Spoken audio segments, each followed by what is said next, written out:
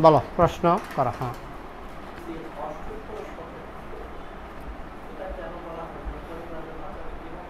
হুম। নামের আগে আমরা বলি পরিব্রাজক আচার্য অষ্টোত্তর শত। সন্ন্যাসীদের একশো আটটা নাম আছে। সন্ন্যাসীদের একশো আটখানা নাম আছে। যেমন আচার্যপাদ, শ্রীপাদ, বিষ্ণুপাদ, ভগবৎপাদ এরকম একশো আটটা টাইটেল আছে। সে একশো আটটা টাইটেলের মধ্যে যে কোনো একটা টাইটেল তিনি গ্রহণ করতে পারেন। এই জন্য বলা অষ্টোত্তর শত। অষ্টোত্তর শত মানে একশো আট। বুঝেছ? আর পরিব্রাজক মানে ঘুরে ঘুরে প্রচার করেন। আমেরিকা, জার্মান, জাপান, উনি ঘুরে ঘুরে প্রচার করেন। উনি যেহেতু ঘুরে ঘুরে প্রচার করেন, তাকে বলা হয় পরিব্রাজক আচার্য। আচরণ করে প্রচার করেন। উত্তর পেলে? নিত্যলীলা প্রবিষ্ট মানে দেহত্যাগ করেছেন, দেহত্যাগ করে গুলোকে চলে গেছেন। তো গুলোকে গিয়ে ভগবানের যে পার্মানেন্ট লীলা, সেই লীলায় অংশগ্রহণ করেছেন। নিত্যলীলায় প্রবেশ করেছেন, তাই নিত্যলীলা প্রবিষ্ট। বুঝতে পারছ?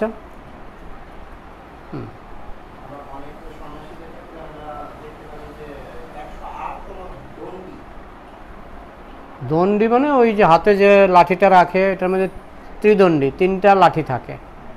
মনোদণ্ড, বাক্যদণ্ড, কায়দণ্ড।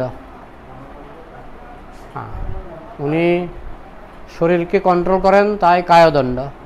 মনকে কন্ট্রোল করেন, তাই মনোদণ্ড। আর কথাকে কন্ট্রোল করেন, তাই বাক্যদণ্ড। তিনটাকে কন্ট্রোল করেন বলেন, ওনাকে ত্রিদণ্ডী সন্ন্যাসী বলা হয়। ঠিক আছে? আচ্ছা এখন আর অন্য ভক্তদের প্রশ্ন কোনো প্রক্রিয়া আছে কি কিংবা এটা কীভাবে সম্ভব এটা প্রক্রিয়া কি? গুরুদেব যা বলবেন তা মেনে নেওয়া। গুরুদেব বললেন, ধূমপান করবে না, ধূমপান করব না। হয়ে গেল শরণাগতি।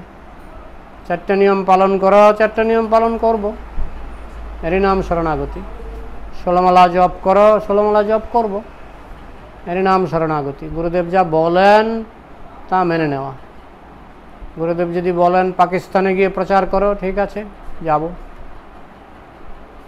এরই নাম শরণাগতি। ঠিক আছে? হুম। বলো, তুমি কি মৃদঙ্গ এখানে এসে শিখেছ না বাড়িতেই শিখেছিলে? হ্যাঁ হ্যাঁ আচ্ছা বাড়ি থেকেই ট্রাই করছিলে?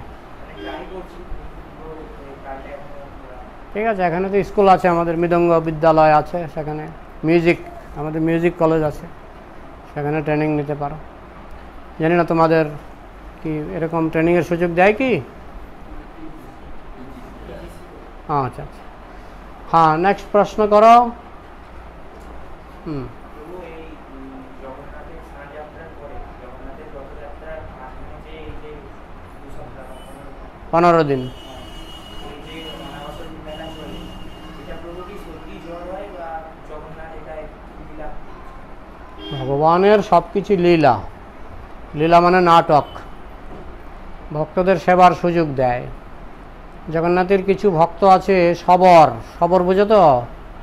যারা শুকর পালে তাদেরকে বলা হয় সবর। তো সাধারণত লোকে তাদের খুব একটা সম্মান করে না, সমাদর করে না। কিন্তু জগন্নাথ যেহেতু পতিত পাবন, তিনি বছরে একবার সবরদেরও সুযোগ দেন। বছরে একবার না, বেশ কয়েকবার। সবরদেরও সুযোগ দেন। তো এই যে এখন জগন্নাথের জ্বর হবে না, ওই পুরীতে পুরীতে সব সবররা এসে জগন্নাথের রান্না করে জগন্নাথকে ভোগ লাগায়। এই সময় সব সবররা জগন্নাথের সেবা করে। আর জগন্নাথের জ্বর মানে কেমন জ্বর? যে জ্বরের কথা শুনলে তোমার ভবরোগ ভালো হয়ে যাবে। জগন্নাথের মাথা ব্যথা মানে তার মাথা ব্যথার কথা শ্রবণ করলে তোমার মাথা ব্যথা ভালো হয়ে যাবে। জগন্নাথের জ্বরের কথা শুনলে তোমার জ্বর ভালো হয়ে যাবে। জগন্নাথের রোগের কথা শুনলে তোমার রোগ ভালো হয়ে যাবে। সুতরাং ওনার জ্বর আর আমার জ্বর সমান নয়। ওনার জ্বরটা হচ্ছে একটা লীলা, ভক্তদেরকে সেবা করার সুযোগ দিচ্ছেন। কথাটা বুঝতে পারছ? বিশেষ করে সবর ভক্তরা এই সময় জগন্নাথের জন্য রান্নাবান্না থেকে শুরু করে ভোগ লাগানো, তারা তো জগন্নাথকে একেবারে জগা জগা করে ডাকে এবং জগন্নাথের সঙ্গে বসে খাওয়া দাওয়া করে। পূজারীর মতো অত জগন্নাথকে অত ইয়ে করে না। শ্রদ্ধা সমীহ অত নাই। কথাটা বুঝেছ? এই পনেরো দিন এখন যদি তুমি পুরীতে যাও এই সবররা জগন্নাথের সঙ্গে বসে কোলাকুলি করে খাওয়া দাওয়া করে একসঙ্গে। কথাটা বুঝেছ? তো বছরে একবার এই পনেরো দিন জগন্নাথ সবরদেরকে সেবা দান করার সুযোগ দিয়ে থাকেন। কথাটা বুঝেছ? এটা একটা লীলা নাটকের মতো। হ্যাঁ, যে জ্বরের লীলা শুনে জগৎবাসীর শুধু জ্বর কেন ভবরোগ ভালো হয়ে যায়? সংসারের জ্বর ভালো হয়ে যায়। কথাটা বুঝেছ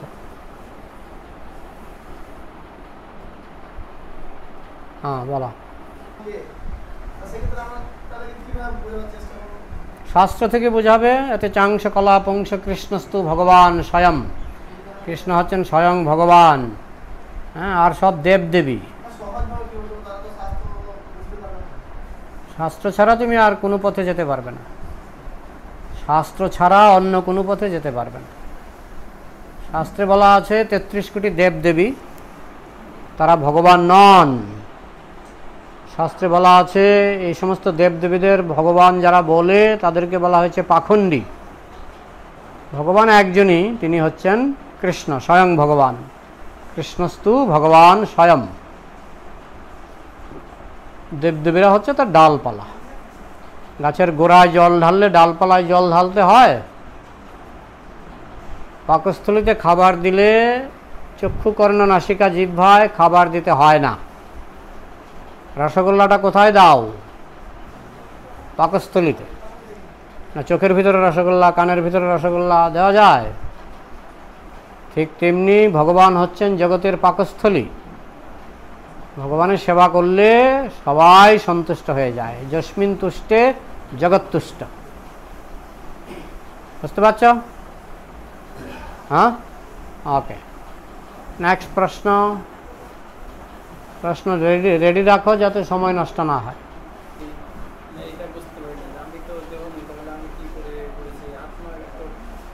প্রশ্ন হচ্ছে আমি আত্মা আমি দেহ নই যখন একটা কাজ করি আমরা বলি আমি করেছি মনে করো একটা কবিতা লিখলা কে লিখেছে কবিতাটা তোমার হাতটা যদি প্যারালাইজড হয়ে যায় লিখতে পারবে? তোমার ব্রেন যদি প্যারালাইজড হয়ে যায়, লিখতে পারবে? তাহলে আমরা যে পারি কবিতা লিখতে, কি করে পারি? আত্মা তো আছে যার ব্রেন প্যারালাইজড হাত প্যারালাইজড তার মধ্যেও আত্মা আছে। তাহলে কবিতা লিখতে গেলে তোমার হাতটা যদি প্যারালাইজড হয়ে যায়, তুমি কবিতা লিখতে পারবে? তাহলে আমি লিখি আমি লিখি কতক্ষণ? যতক্ষণ আমার হাত, ব্রেন সব ঠিক থাকে। কাজী নজরুল ইসলাম ততদিন কবিতা লিখতে পেরেছিলেন যতদিন তার ব্রেন ঠিক ছিল। পরবর্তীকালে তার ব্রেন ডিফেক্ট হলো। শেষ বয়সে তার কবিতা লিখতেন না। তাই না? তাইলে কবিতা লেখার জন্য যে ক্ষমতা, সেটা কে দেয়? ভগবান দেয়। ভগবান প্রকৃতির মাধ্যমে তোমার হাতকে সুস্থ রাখে, ব্রেনকে সুস্থ রাখে। যখন হাত প্যারালাইজ হয়ে যায় ব্রেন প্যারালাইজ হয়ে যায়, তখন তো আর কবিতা লিখতে পারবে না। তাহলে কর্তাকে ভগবানের কৃপা দরকার, তোমার ইচ্ছাও দরকার। তোমার পাঁচটা কর্তা বলা হয়েছে, পাঁচখানা কর্তা। তার মধ্যে আমার ভূমিকা হচ্ছে আমার ইচ্ছা। কিন্তু আমার ইচ্ছাই যথেষ্ট নয়। ভগবান যদি আমার হাতকে প্যারালাইজড করে দেয়, আমার ইচ্ছা থাকলেও আমি পারব না। কথাটা বুঝেছি? তো একটা একটা কুকুরকে যদি বলো, একটা কবিতা লেখ। কুকুর পারবে? কেন পারবে না? কারণ প্রকৃতি তাকে সেই শক্তি দেয়নি। তাহলে আমরা কি করে কর্তা হলাম? আমরা ততক্ষণ কর্তাগিরি করি যতক্ষণ প্রকৃতি আমাদের শক্তি দেয়। প্রকৃতি যখন শক্তিকে উইথড্র করে নেয়, প্রকৃতি হচ্ছে ভগবানের প্রতিনিধি, ভগবানেরই শক্তি। সেই শক্তি যদি ভগবান উইথড্র করে নেয় তাহলে আমরা কিছুই করতে পারব না। তাই অহংকার ও বিমূঢ় আত্মা কর্তা অহমিতি মন্যতে অহংকার করে আমরা মনে করি আমি কর্তা। আমি ততক্ষণ কর্তা যতক্ষণ ভগবানের কৃপা পাই। ভগবানের কৃপায় আমার হাত সুস্থ, মন সুস্থ, ব্রেন সুস্থ। তখন আমি একটা কবিতা লিখতে পারব, একটা কাজ করতে পারব। কিন্তু ভগবান যদি তার শক্তি হরণ করেন, তখন আমি ইনভ্যালিড সেই হিসাবে আমি কর্তা নই। আবার যেহেতু আমার ইচ্ছা অনুসারে ভগবান আমাকে সুযোগ দিচ্ছেন, তাই আমার একটু ভূমিকাও আছে, আমার একটু দায়িত্ব আছে। কিন্তু ভগবানের সাহায্য ছাড়া আমি চাইলেও কিছু করতে পারব না। বুঝতে পারলে কি না? নেক্সট প্রশ্ন করো।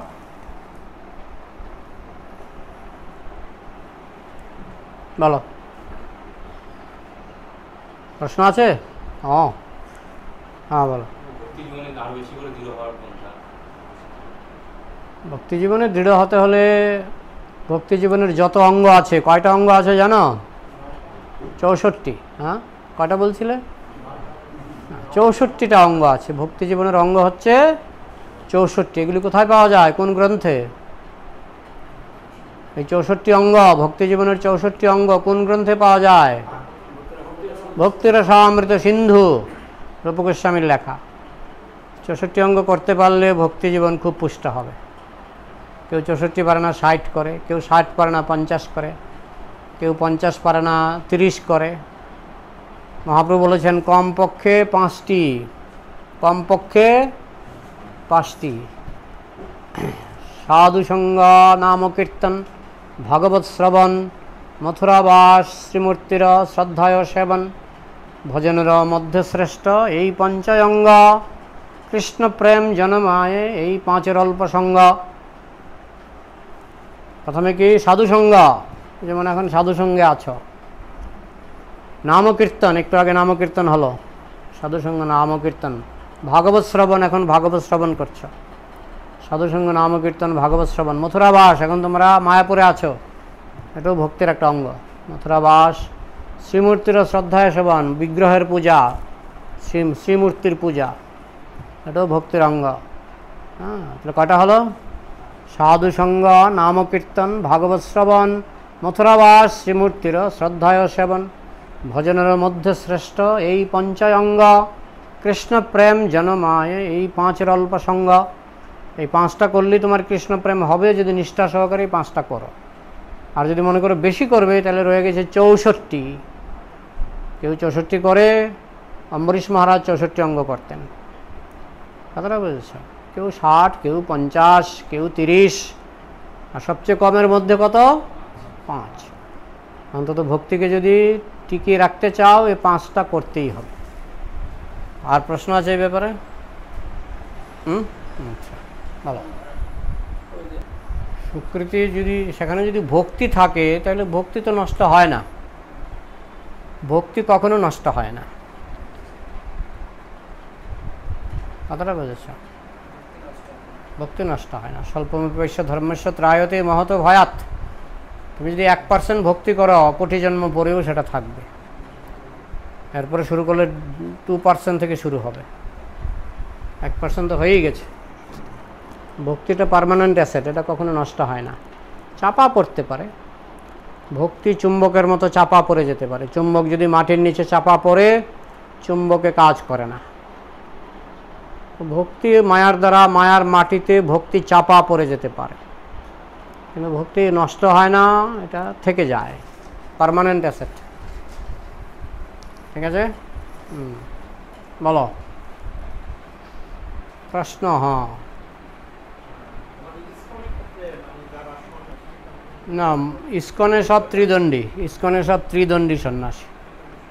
ইস্কনে আজ পর্যন্ত যত সন্ন্যাসী, সব ত্রিদণ্ডী? কায়দণ্ড, মনোদণ্ড, বাক্যদণ্ড। ঠিক আছে? আর কি বলো?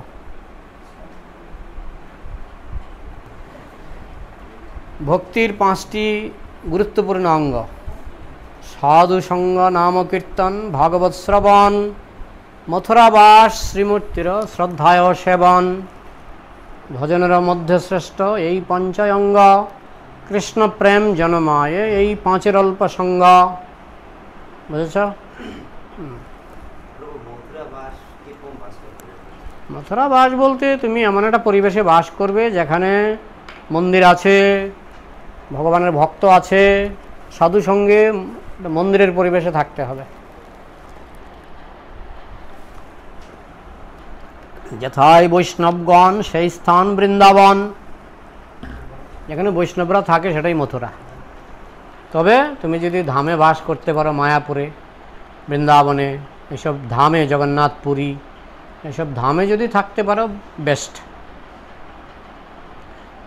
ঠিক আছে? তোমরা তো ধামে আছোই, তোমার মথুরাবাস পাঁচটা অঙ্গের পাঁচটা অঙ্গই তোমাদের হয়ে গেছে। বলে শ্রীমূর্তির সেবা যে মঙ্গল আরতিতে দাঁড়িয়ে কীর্তন করে, এটা শ্রীমূর্তির সেবা। পূজারি হয়ে যেতে পারলে তো ভালো, পূজারি না হয়েও যদি বিগ্রহের সামনে দাঁড়িয়ে কীর্তন করা, এটাও এটাও শ্রীমূর্তির সেবা। বুঝতে পারলে? তো পাঁচটাই তো তোমরা করছ। আর চৌষট্টির মধ্যে আরও তো তোমরা পাচ্ছ। চরণামৃত পান করো, ওটা চৌষট্টির মধ্যে। মন্দির পরিক্রমা করো, ওটা চৌষট্টির মধ্যে। বুঝেছ? হুম। বলো। এটা কি আবার একটা প্রশ্ন হলো? ধামে থেকে পাপ করা কি অপরাধ? আরে জড়জাগতিক বিষয় মানেই তো তোমার কৃষ্ণ ছাড়া সবই পাপ। কৃষ্ণ ছাড়া সবই পাপ। বুঝেছ? ধামে থেকে তুমি যদি জড় বিষয় নিয়ে চিন্তা করো, তাহলে তো সেটা পাপই হবে।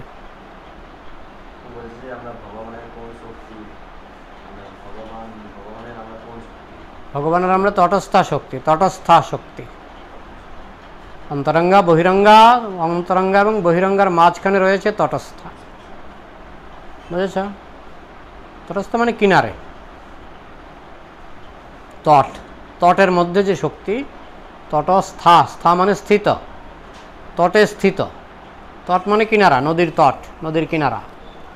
কিনারার শক্তি, কিনারার জল কখনো নদীতে পড়ে, কখনো নদীর বাইরে চলে আসে। তো আমরা কখনো জড়জগতে, কখনো চিৎ জগতে এই জন্য আমাদের বলা হয় তটস্থা। আমরা যতক্ষণ ভগবানের সেবা করতে অভিলাষী, আমরা চিৎ জগতে থাকতে পারব। যখন আমরা ভগবানের সেবা করতে চাই না, এক ধাক্কায় আমরা চলে আসি জড়জগতে, জেলখানায়। বুঝেছ? এখন আমরা জেলখানায় আছি। এটা দেহকে বলা হচ্ছে। ওই চ্যাপ্টারে দেহ এবং আত্মার পার্থক্য কৃষ্ণ বলে বলছেন, দেহটা গ্রহণ করাকেই জন্ম বলে দেহটা ছেড়ে দেওয়া হলো মৃত্যু। তো দেহ গ্রহণ করলে দেহ ছাড়তে হবে, দেহ ছাড়লে দেহ আবার পুনর্জন্ম হবে যতক্ষণ তুমি ভগবানের ধামে না যাচ্ছ। সেই সেই প্রসঙ্গে বলা হয়েছে। ঠিক আছে? আমার প্রশ্ন। ভগবানের সেবায় নিয়োজিত? হ্যাঁ।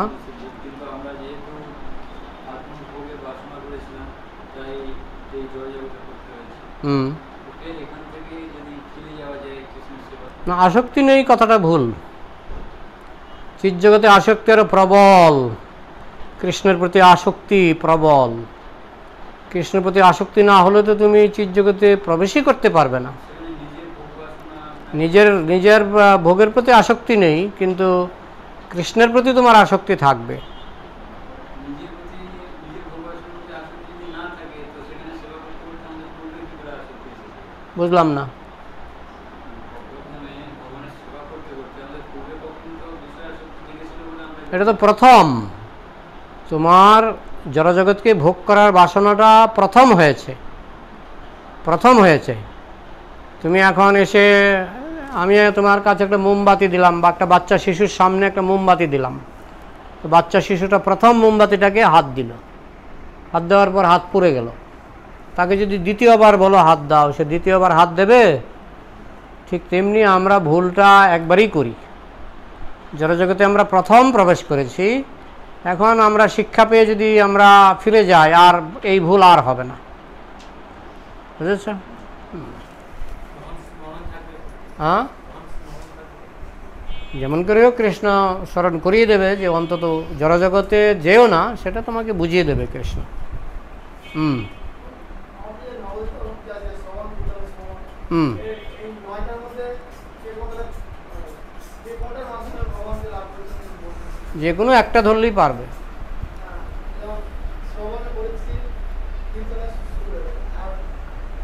শ্রবণে, হুম।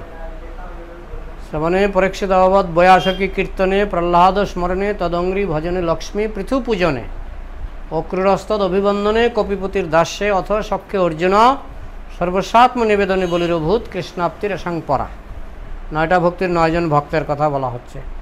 শ্রবণে পরীক্ষিত। শ্রবণে হচ্ছে শ্রেষ্ঠ ভক্তকে পরীক্ষিত। শ্রবণে পরীক্ষিত অবধ বয়াসকি কীর্তনে? কীর্তনে শ্রেষ্ঠ ভক্তকে ব্যাসদেবের পুত্র সুখদেব গোস্বামী বৈয়াসিকী কীর্তনে?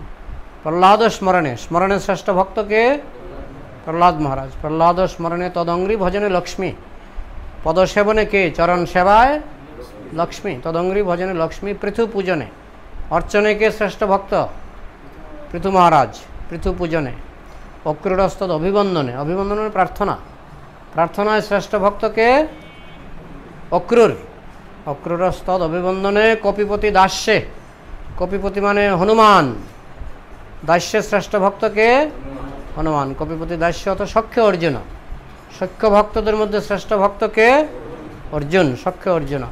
সর্বস্বাত্ম নিবেদনে বলির ভূত আত্মনিবেদনে বলি মহারাজ, সর্বস্ব আত্মনিবেদন।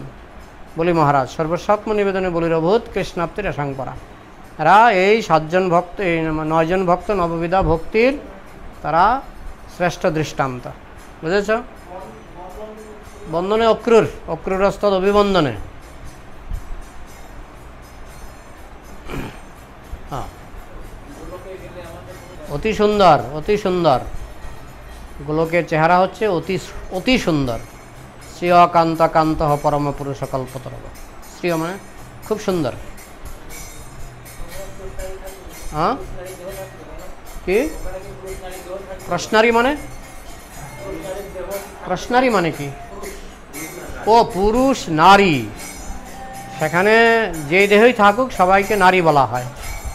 চিৎ জগতে যে দেহই থাকুক, পুরুষ দেহকেও নারী বলা হয়, নারী দেহকেও নারী বলা হয়। চিৎ জগতে সবই নারী। বলছে, প্রকৃতি বলা হয়, প্রকৃতি। সেখানে পুরুষ একমাত্র কৃষ্ণ। বুঝেছ? আর সব জীবাত্মা প্রকৃতি। প্রকৃতি মানে নারী। পুরুষ দেহ নারী নারী দেহ নারী। কারণ সবাই কৃষ্ণ সেবা করে। বুঝেছ। আর কি?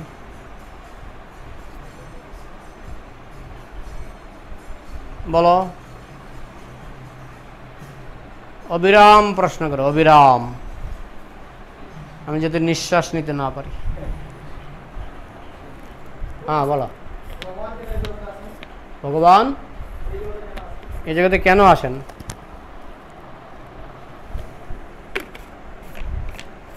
তুমি যখন, যেমন আমি ঘর ভাড়া থেকে পড়াশোনা করতাম তো মাঝে মধ্যে আমার বাবা চলে আসতো। আমার বাড়ি থেকে দূরে আমি ঘর ভাড়া করেছিলাম কারণ আমাদের গ্রামে স্কুল ছিল না, সেই স্কুল, মাধ্যমিক স্কুল ছিল না, ক্লাস এইট অবধি ছিল। নাইনে উঠে আমি গিয়ে ঘর ভাড়া করলাম অন্য শহরতলিতে। আমার বাবা মাঝে মধ্যে চলে আসতো। কেন আসতো? হ্যাঁ? মাঝে মধ্যে লোক পাঠাতো, মাঝে মধ্যে গ্রামের ওনার বন্ধু বান্ধবকে পাঠিয়ে দিত। আবার মাঝে মধ্যে নিজে চলে আসতো। নিজে আসতো কেন? ভালোবাসার ফলেই তো, ভালোবাসার ফলে। তো কৃষ্ণ তার সন্তানকে ভালোবাসে, তাই মাঝে মধ্যে নিজে আসে, মাঝে মধ্যে দুধ পাঠায়। ভগবান, তুমি যুগে যুগে দুধ পাঠিয়েছ, বারে বারে। ভগবান দুধ পাঠায়, আবার মাঝে মধ্যে নিজেও চলে আসে। তার সন্তানদেরকে দেখা দেওয়ার জন্য সন্তানের স্নেহে তিনি চলে আসেন। বুঝতে পারছ? হুম। না, প্রশ্ন আছে? হুম। বলো।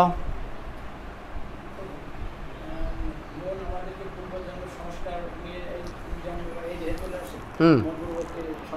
পূর্ব সংস্কার এই দেহে চলে আসে মন কখনো কখনো ভক্তিতে ই হতে চায় আবার কখনো কখনো মানে ভালো লাগছে কখনো ভালো লাগছে না এটা কেন হয় বলো? সেই স্তরেই তুমি শেষ করেছিলে। গত জন্মে তুমি ওই লেভেলেই শেষ করেছিলে। গত জন্মে ভক্তিতে পূর্ণ সিদ্ধি হয়নি বলেই এই চঞ্চলতা। পূর্ণ সিদ্ধি হলে এই চঞ্চলতা হতো না। যেমন প্রহ্লাদ মহারাজ, জন্ম থেকেই সম্পূর্ণ শুদ্ধ ভক্ত। তার মন কখনো বিচলিত হয় না। কারণ তার জন্ম থেকেই সে শুদ্ধ ভক্ত। তো আমরা আমাদের পূর্বজন্মে এমন কোনো স্বীকৃতি হয়নি যে আমরা জন্ম থেকেই শুদ্ধ হয়ে যাব, সেরকম স্বীকৃতি আমাদের হয়নি। যার ফলে আমাদের কিছু চঞ্চলতা আসে। ঠিক আছে? এই জন্মে এগিয়ে যাও যাতে আগামী জন্মে, আগামী জন্মই যাতে নিতে না হয়, সেইভাবে এগিয়ে এগিয়ে যাও।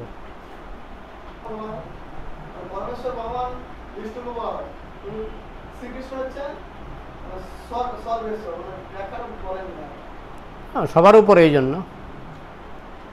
সবার উপরে মিনিস্টার প্রাইম মিনিস্টার মিনিস্টার বড় না প্রাইম মিনিস্টার বড়? Health minister education minister jail minister কিন্তু ভগবান হচ্ছেন সবার উপরে। এটা কঠিন কিছু নয়। মহাবিষ্ণুর উপরে। সবার উপরে। বৃন্দাবনের কৃষ্ণ, ব্রজেন্দ্রনন্দন কৃষ্ণ সবার উপরে। বুঝেছ? আমরা যে বলি সৃষ্টিকর্তা, ও ভগবানের অংশের অংশের অংশের অংশের অংশ। বুঝতে পারছ? কৃষ্ণ স্বয়ং কিছুই করেন না। তিনি সম্পূর্ণ ফ্রি এবং ভক্তদের সঙ্গে আনন্দ করেন। তার কাজই হলো ভক্তদের সঙ্গে বাঁশি বাজানো, নাচ গান করা। এছাড়া কৃষ্ণের আর কোনো কাজ নেই।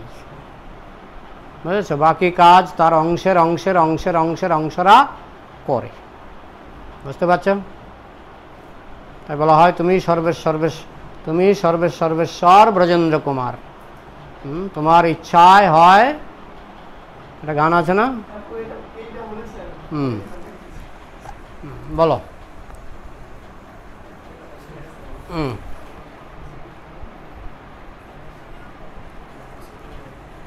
প্রশ্ন কি বলো। আচ্ছা হ্যাঁ বলো। জগতের যত নারী শক্তি সব রাধা থেকে প্রকাশিত হয়েছে। হ্যাঁ, রাধা হচ্ছে কৃষ্ণের অন্তরঙ্গা শক্তি আহ্লাদিনী শক্তি। তার থেকেই গোপীরা তার থেকেই বৈকুণ্ঠের লক্ষ্মীরা তার থেকে দুর্গা মানে ক্রমে ক্রমে। তারপরে জগতের যত নারী শক্তি সেই আদি নারী শক্তি থেকেই ক্রমে ক্রমে প্রকাশিত হয়েছে। বুঝতে পারছ?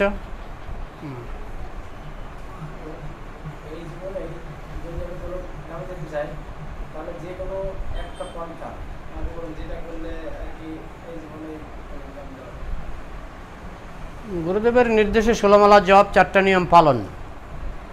চারটা নিয়ম পালন ষোলোমালা জপ। এইটুকু করলে যদি কোনো পতন না হয়, তাহলে এই জীবনেই ভগবানের ধামে যাওয়া যাবে। ঠিক আছে? হরে কৃষ্ণ। হ্যাঁ বলো। ত্রিভঙ্গ। ভগবানকে বলা হয় ত্রিভঙ্গ মুরলীধর। তিন জায়গায় বাঁকা। সেটা ভগবানের তার চিন্ময় দেহে তাকে এইভাবেই সুন্দর দেখায়। নাচতে নাচতে তিনি এইভাবেই যখন দাঁড়ান, সেটা রূপটা খুব সুন্দর লাগে। তাই তাকে বলা হয় ত্রিভঙ্গ মুরলীধর শ্যাম সুন্দর। এই রূপটা সুন্দর, সেই জন্যই ভগবান, ভগবানকে এই রূপেই দর্শন করতে ভক্তরা ভালোবাসে। আর ভগবান নাচের সময়, বেশিরভাগ সময় এই রূপেই তাকে দেখা যায়। বুঝছ? বলো। হুম। এখন আনুগত্য মানে কি? আমার গুরুদেব ভালো লোক না দুষ্ট লোক? হ্যাঁ? ভালো। তো আমি কি, আমি তখনই আনুগত্য করব যখন মনে হবে যে তিনি সর্বোত্তম, সর্বশ্রেষ্ঠ। তার কাছে আনুগত্য করা যায়। তার কাছে আনুগত্য করলে আমার লাভ হবে। আধ্যাত্মিক লাভ হবে। তার কাছে আনুগত্য না করলে আমার লস হবে, আমার ক্ষতি হবে। সেই জন্যই তো আনুগত্য। যে ওনাকে আমার বিশ্বাস হয়েছে যে উনি আমা- আমাকে উন্নতির পথে নিয়ে যেতে পারবেন। সে বিশ্বাস না হলে তুমি দীক্ষাই বা নেবে কেন, আনুগত্যই বা করবে কেন? দীক্ষাও নেব আনুগত্য করব না, এটা হয় না। যদি বিশ্বাস না হয়, দীক্ষা না নেওয়াই বাঞ্ছনীয়। বিশ্বাস জাগ্রত হলেই যে প্রভুপাদের শিষ্যরা। প্রভুপাদের প্রতি অগাধ বিশ্বাস জেগেছিল বলেই তারা প্রভুপাদের কাছে দীক্ষা নিয়েছিল। তুমি যে কোনো গুরুদেবের কাছে যখন দীক্ষা নেবে, তোমার অগাধ বিশ্বাসটাকে জাগতে হবে যে উনি আমাকে আমার ঊর্ধ্বগতি করাতে পারবেন না। আমারও দায়িত্ব আছে, এমন নয় যে গুরুদেব ঊর্ধ্বগতি করাবেন, আমি হাল ছেড়ে দিয়ে বসে থাকব। আমারও দায়িত্ব আছে। আমি আমার দায়িত্ব পালন করব আর গুরুদেব আমাকে পথ দেখাবেন। ঠিক আছে? হুম। মায়াশক্তি হলো পুলিশ পুলিশ। সরকারের পুলিশ কি করে? সরকারের পুলিশ যখন চোর ডাকাত দেখে কি করে? ধরে, পিটায়। ভালো মানুষ দেখলে সাহায্য করে। আসুন আসুন, এদিকে আসুন, এই রাস্তা দিয়ে যান। ভালো মানুষ দেখলে পুলিশ কি করে? এইদিকে যান এদিকে বিপদ আছে, ওইদিকে যান। হ্যাঁ এদিকে পকেট মারা আছে, যাবেন না। ওইদিকে ডাকাত আছে, যাবেন না। ওইদিকে যান। ভালো মানুষকে ভালো পথ দেখাবে আর দুষ্ট মানুষকে পিটাবে। তো মায়ার কাজও ভালো মানুষকে কৃষ্ণের দিকে টানা আর দুষ্ট মানুষকে পিটানো। বুঝেছ? Correct. অহংকার থাকলে ভগবানকে জানবে কি করে তুমি। অহংকার মানে হামসে বড়া কোন হ্যায়? হ্যাঁ? হ্যাঁ? মন? হ্যাঁ।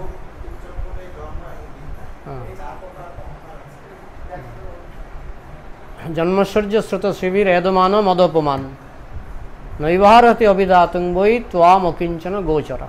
কুন্তি দেবী বলছিলেন, জন্ম মানে উচ্চকুলে জন্ম। উচ্চকুলে জন্ম হলে তোমার অহংকার হবে। আমি আমি প্রধানমন্ত্রীর ছেলে, আমি টাটা বিরলার ছেলে। হ্যাঁ আমার পয়সার অভাব নাই। সুতরাং আমি সবচেয়ে দামি মদ খাব, সবচেয়ে দামি হোটেলে ফুর্তি করব। তুমি ভগবানকে পাবে কি করে? জন্ম ঐশ্বর্য, টাকা পয়সা থাকলে অনাচার করতে ইচ্ছা করবে, পাপ করতে ইচ্ছা করবে। যাদের টাকা বেশি দেখবে যে, বড় ভালো ভালো যে বিলেতি মদ, এগুলি বেশিরভাগ কে খায় জানো? কোটিপতি যারা এরা খায়, গরিব মানুষ কমই খায়। তাই না? হ্যাঁ জন্মশ্বর্য স্রোত মানে পড়াশোনা। পড়াশোনা ভালো, পড়াশোনা হবে যদি তোমার পূর্বজন্মে পুণ্য থাকে। হ্যাঁ এখন পড়াশোনা হলে যদি তোমার অহংকার হয়ে যায় যে আমি খুব পণ্ডিত, আমি ভগবানের থেকেও ভালো বুঝি, গীতাতে ভুল ধরি, তাহলে তুমি ভগবানকে পাবে? সুতশ্রী চেহারা চেহারা সুন্দর হলে আমি সিনেমার নায়ক হব। সিনেমার নায়ক হয়ে তুমি ভগবানকে পাবে? তখন অহংকার হয়ে যাবে, আমি খুব সুন্দর। আচ্ছা। এরকম একজন সিনেমার নায়িকা ছিল, খুব সুন্দরী। পরে বৃদ্ধ বয়সে তার রূপ নষ্ট হয়ে গেল, সে আর ঘর থেকে বেরোতো না।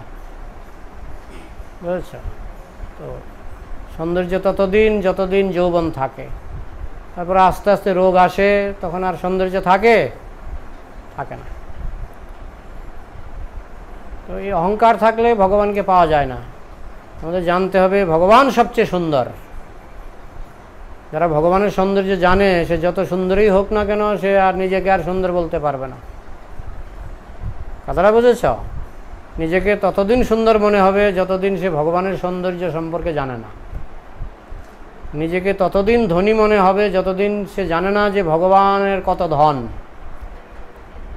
যখন তুমি ভগবানের ধন জানতে পারবে, তখন কোটিপতি হলেও তোমার মনে হবে যে ওই ব্যাঙের আধুলি। ব্যাঙের আধুলি, বুঝো তো, ব্যাঙের আধুলি? ব্যাঙ একটা পঞ্চাশ পয়সা, আধুলি মানে পঞ্চাশ পয়সা। একটা পঞ্চাশ পয়সা পুকুরের কিনারে পড়েছিল। তো ব্যাং গিয়ে তার উপরে বসে পড়ল। বসে ভাবছে, আমি কম কিসে? রাজারও টাকা পয়সা আছে, আমারও টাকা পয়সা আছে। আমিও তো পঞ্চাশ পয়সার উপরে বসে আছি। তো তুমি যখন জানতে পারবে ভগবানের ধন কেমন, তখন তুমি বুঝতে পারবে পৃথিবীর টাটা বিরলা সবাই গরিব সবাই গরিব। আমরা ভগবানের ধন জানি না বলে আমাদের ধনের অহংকার হয়। ভগবানের রূপ জানি না বলে আমাদের রূপের অহংকার হয়। জন্ম আমরা মনে করি খুব বড় বংশে জন্ম হলো। কিছুই না এগুলি। বিদ্যাকুলে কি করিবে তার? নিতাই না বলিল মুখে, মজিল সংসার সুখে, বিদ্যাকুলে কি করিবে তার? বুঝতে পারলে? কি? ভগবানকে লাভ করতে হয় বিনয় দ্বারা, বিনয়ের মাধ্যমে। অহংকারের দ্বারা ভগবানকে লাভ করা যায় না। God is man for the meek and humble বাইবেলের কথা। আমাদের চৈতন্য মহাপ্রভুর শিক্ষা তৃণাদপি শুনিছেন তরুরূপী সহিষ্ণু। নম্র না হলে, বিনয়ী না হলে ভগবানকে পাওয়া যায় না। অহংকার মানে কি? আমি উদ্যত। আমার থেকে বড় কেউ নেই। বংশের অহংকার, ধনমদে বিদ্যামদে বৈষ্ণবনা চিনে। বুঝেছ? ঠিক আছে? হুম। দেব, দেবতারা হচ্ছে সকাম ভক্ত। সকাম ভক্ত বুঝো? ওদের অনেক জড়জাগতিক কামনা বাসনা আছে। তাই দেবতারা ভগবানের ধামে সচরাচর ভগবানের ধামে যেতে পারে না। তাদের যদি ভগবানের ধামে যেতে হয় তাহলে পৃথিবীতে এসে জন্ম নিতে হবে মনুষ্য জন্ম। মনুষ্য জন্ম নিয়ে ষোলোমালা জপ করে চারটা নিয়ম পালন করে তারা ভগবানের ধামে যেতে পারে। কথাটা বলেছে। স্বর্গ থেকে দেবতারা সকাম ভক্ত ভোগবিলাসে মত্ত থাকে ওরা ওইখান থেকে ভগবানের ধামে যেতে পারে না। বুঝতে পারলে? তোমার প্রশ্ন ছিল? হ্যাঁ হ্যাঁ, তোমার ছিল না? হ্যাঁ বল। তুমি অপরাধ করলে তুমি না, ভগবানের নাম করে নরকে বাস হবে এটা কোথায় লেখা আছে? ভগবানের নাম করে নরকে বাস হবে এটা কোথায় লেখা আছে? কোন বইয়ের না, বইয়ের নাম বলো, শ্লোক নাম্বার বলো, অধ্যায় নাম্বার বলো, পৃষ্ঠা নাম্বার বলো। না, ভগবানের নাম করে কেউ নরকে যায় না। ভগবানের নাম করে কেউ নরকে যায় না। সে যদি নাম অপরাধও করে, তার কিছু ভোগান্তি হবে, সে নরকে যাবে না। ভগবানের নাম করলে যমরাজ একশো হাত দূরে থাকে। কথাটা বুঝেছ? আজামিল কাহিনীতে যমরাজ বলে দিয়েছে যারা ভগবানের নাম করবে তাদের ধারে কাছে যেও না। ঠিক আছে? আর শুদ্ধভাবে নাম করলে ভগবানের ধামে যাবে। ঠিক আছে? বলো। ভগবান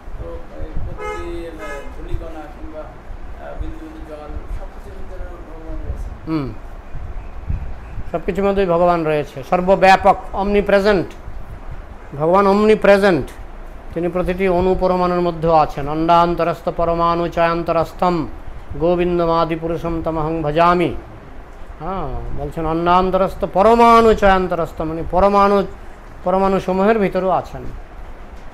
সব জায়গায় আছেন। মানে হ্যাঁ ভগবান ছাড়া কিছু হতেই পারে না মানে ভগবান আর ভগবানের শক্তি, সূর্য আর সূর্যের জ্যোতি। ভগবান আর ভগবানের, আমরা যা কিছু দেখছি, ভগবান আর এবং ভগবানের শক্তি। এর বাইরে কিছু নাই।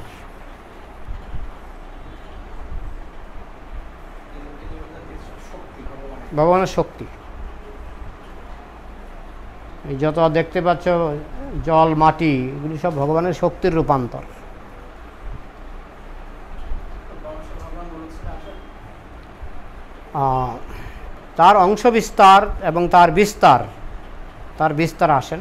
আর তিনি যখন পৃথিবীতে আসেন, তখন গোলককে নিয়েই আসেন। স্বপার্শ্বদ, ধাম সহ অবতরী। তিনি পার্শ্বদ এবং ধাম নিয়েই আসেন। প্রধানমন্ত্রী যেমন হেলিকপ্টার নিয়েই আসেন, ঠিক তেমনি ভগবান গোলককে নিয়েই আসেন। আপনারা বুঝতে পেরেছ?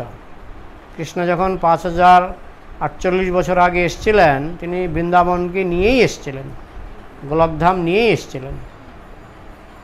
ঠিক আছে?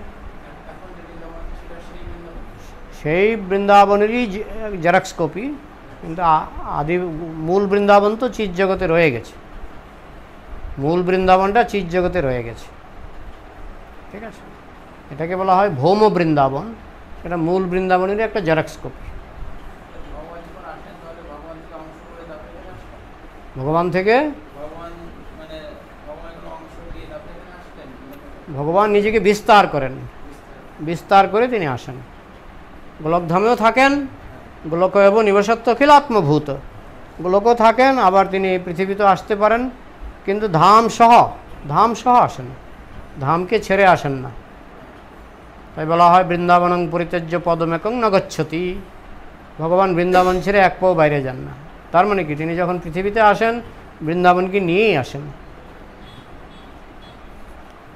তিনি গোলকেও থাকে আবার এখানেও যখন এসেছেন তখন এখানেও একসাথে দুই জায়গায় অবস্থান আহ, একই সঙ্গে দুই জায়গায় কেন?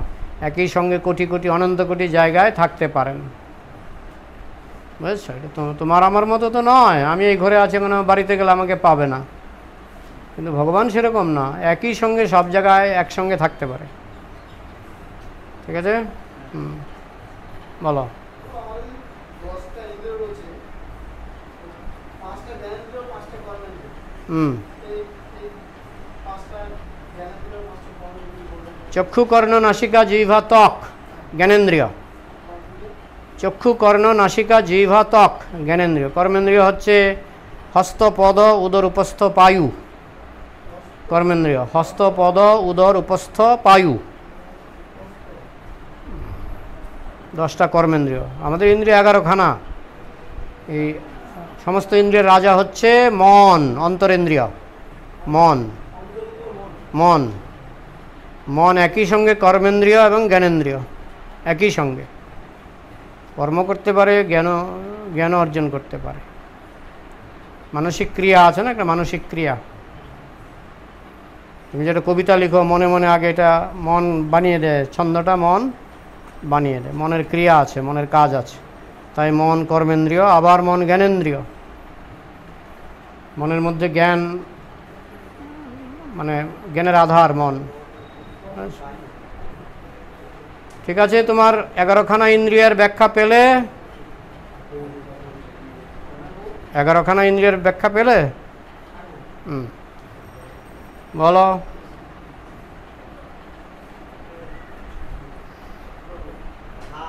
ধাম। ভগবান যেখানে লীলা করেন, সেটাকে বলা হয় ধাম। ভগবান যেখানে লীলা করেন সেটাকে বলা হয় ধাম। এই ধাম অনেক পবিত্র। মানুষ সহজে ওই ধামের পরিবেশটা এমন যে পাপি তাপিও যদি ধামে আসে, ধামের প্রভাবে পবিত্র হয়ে যায়। ধামের মহিমা অনেক। তবে আমাদেরও দায়িত্ব আছে যাতে ধাম অপরাধ না হয়। যদি গুরুদেব অনুমোদিত হয়, ফল সমান। গুরুদেবের অনুমোদন হলে তুমি পাকিস্তানে গিয়েও যদি প্রচার করো। ফল, গুরুদেবের আদেশ পালন করলে সমান ফল, যেখানেই যা করো না কেন। ঠিক আছে? না। ব্রহ্মচর্য নিয়ে একজন মহারাজ একটা গ্রন্থ লিখেছেন। থাকতে পারে কোটেশন থাকতে পারে। জামিলের কাহিনী থেকে তোমাকে শিখতে হবে যে ওইদিকে মনোযোগ দেওয়া ঠিক হবে না। যখন কোনো উত্তেজক দৃশ্য তোমার সামনে দিয়ে কেউ, তুমি দেখছ কোনো বাজে ড্রেস পরে কেউ যাচ্ছে, সেদিকে না তাকাবে না, সেটাই বলা হয়েছে। তোমাকে সাবধান থাকতে বলা হয়েছে। তাকালেই মন কলুষিত হবে। ঠিক আছে? মনোযোগ দিতে না করা হয়েছে। সৌভরিমুনি উনি জলের নিচে চলে গেছিলেন যে পৃথিবীর উপরে নারী দর্শন হয়, আমি জলের নিচে চলে যাই। জলের নিচে গিয়েও ঠিক থাকতে পারলেন না। সৌভরিমুনির কাহিনী জানো তো? হ্যাঁ তো জলের নিচে গিয়েও ঠিক থাকতে পারেননি। এই জন্য প্রভুপাত বলছেন সৌভরিমুনির মতো জলের নিচে যেতে হবে না, হিমালয়ে যেতে হবে না।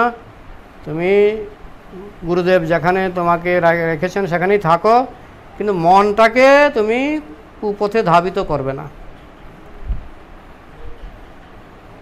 মনোযোগ দিয়ে এইসব দেখবে না, সোজা কথা। সাবধান থাকতে হবে যে গুরুদেব সব জানেন, কৃষ্ণ সব জানেন, সুতরাং আমাকে সাবধান থাকতে হবে। বুঝতে পারছ।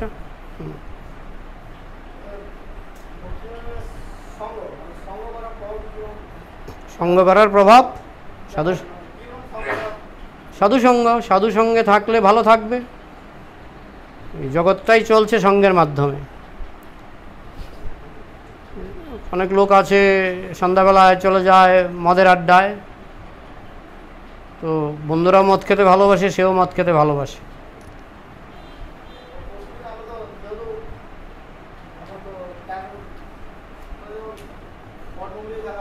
হ্যাঁ? পরিষ্কার করে পরিষ্কার করে বলো। মঠ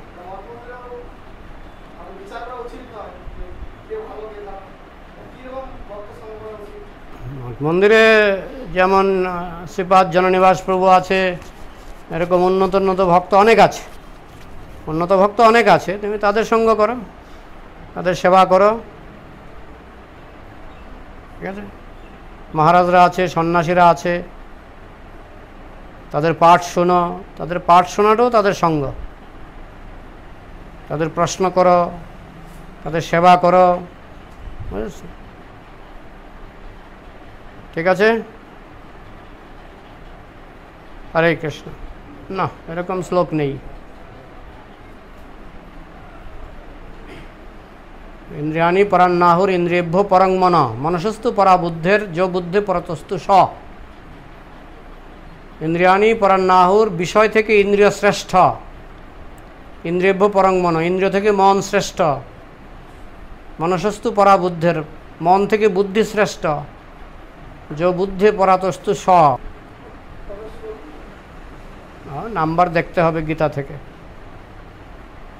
ইন্দ্রি ইন্দ্রিয়ানি পরান নাহুর, প্রথম কথাটা। ইন্দ্রিয়ভ্য পরং মন, মনসস্তু পরা বুদ্ধের, যো বুদ্ধে পরতস্তু স না, যিনি বুদ্ধির উপরে তিনি আত্মা। যিনি বুদ্ধির উপরে তিনি আত্মা, যিনি আত্মার উপরে তিনি পরমাত্মা। মানে ভগবান। পরমাত্মা মানে ভগবান।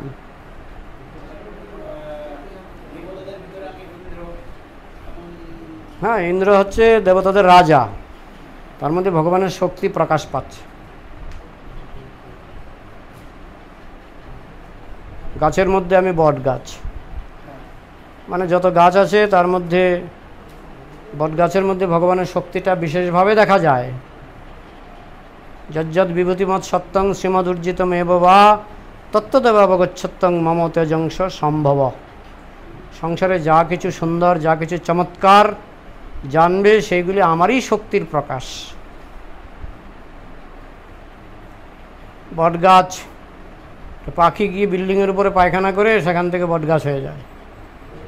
পাখিও হজম করতে পারে না।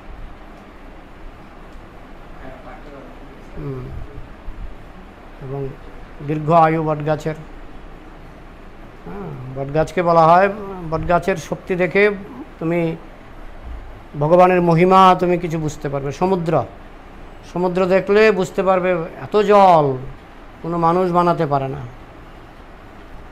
হাইড্রোজেন, অক্সিজেন মিলিয়ে জল বানায় তো, ও সামান্য এক ফোঁটা জল বানাতে অনেক টাকা খরচ হয়। কিন্তু সমুদ্রের কাছে গেলে দেখবে অনেক জল। কে বানালো? ভগবান। তাই সমুদ্রের মধ্যে ভগবানের মহিমা দর্শন করতে পারবে।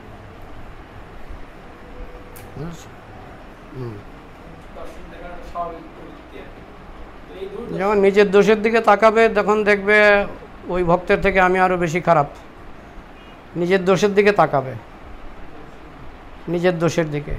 যখন মনে হবে আমি নিষ্পাপ, আমি মহাপুরুষ তখনই অন্য ভক্তের দোষ দেখতে শুরু করবে।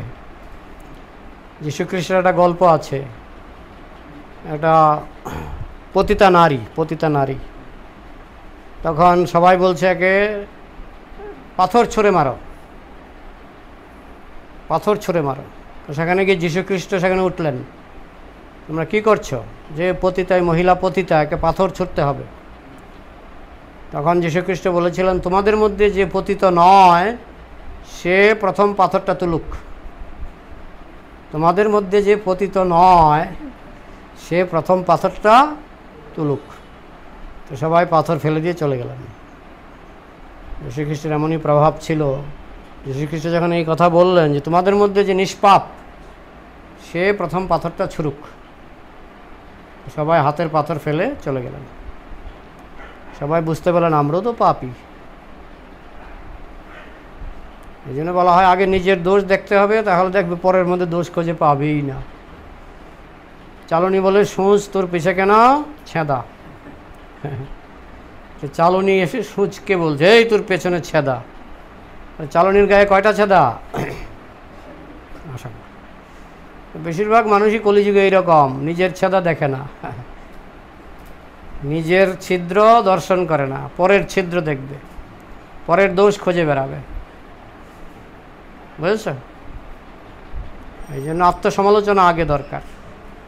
আমি কোথায় আছি? আমি কে? আমি কত মহাপুরুষ?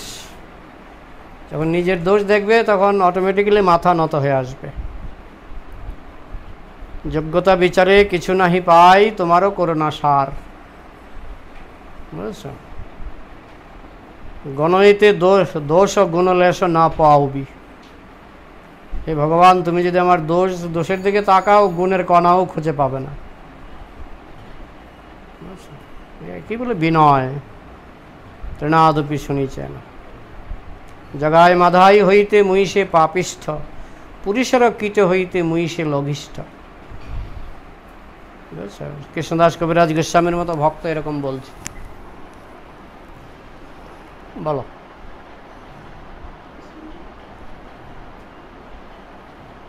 আর পাঁচ মিনিট আছে। তুমি যদি ব্রহ্মচর্য পালন করো, গেরোয়া পরেও অনেক সময় ব্রহ্মচর্যের হানি হতে পারে, আবার গৃহে থেকেও অনেক সময় শুদ্ধ জীবনযাপন করতে পারে। প্রভুপাত গৃহে ছিলেন, কিন্তু শুদ্ধ দীক্ষা, দীক্ষাও নিয়েছেন এবং সেখানে উনি শুদ্ধভাবে জীবনযাপন করেছেন। যার জন্য কৃষ্ণ প্রভুপাদের মাধ্যমে অনেক কিছু করে দেখালেন। তাই না? প্রভুপাদের গুরু ভাইরা অনেক সময় প্রভুপাদকে বলতেন, পচা গৃহস্থ। কিন্তু কৃষ্ণ দেখালেন, পচা নয়। কথাটা বুঝেছ? এইরকম অর্জুন কয় বিবাহ করেছিলেন? চার বিবাহ চার বিবাহ। কিন্তু গীতা নারদমণিকে বলতে যাননি বেশমণিকে বলতে যাননি। গীতা কাকে বললেন? অর্জুনকে। নিশ্চয়ই অর্জুন অর্জুন খুব ভালো ব্রহ্মচারী ছিলেন। অর্জুন যখন স্বর্গে গিয়েছিলেন, তখন উর্বশী অর্জুনের কাছে এসছিলেন। আমাকে ভোগ করো, উর্বশী বলছিলেন। তো এই উর্বশী ছিল অর্জুনের পূর্বপুরুষ পুরুরবার স্ত্রী। অর্জুন বলছেন, আপনি আমার পূর্বপুরুষ পুরুরবার স্ত্রী, আপনি আমার মা।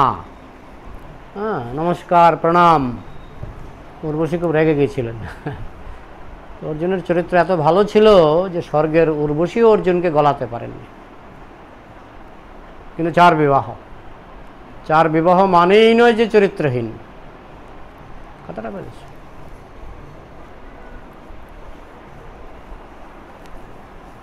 প্রশ্ন আছে? নাহলে সমাপ্ত করবা। হ্যাঁ? যাও। জয় সমবেত বৈষ্ণব ভক্তবৃন্দ কি নিতাই গৌর প্রমানন্দে হরি হরি গৌর